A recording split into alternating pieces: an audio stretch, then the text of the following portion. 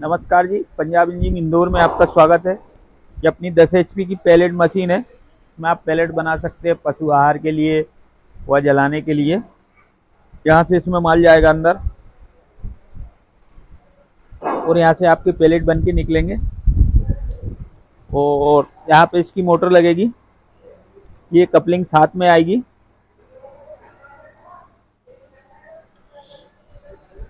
और यहाँ पे सेटिंग दी है आपको छोटी बड़ी पैलेट करने के लिए।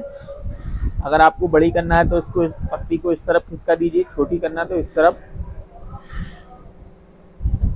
यहाँ से इसमें आयल जाएगा। ये आयल के लिए चेम्बर दिया हुआ है और यहाँ पे गेज दिया हुआ है।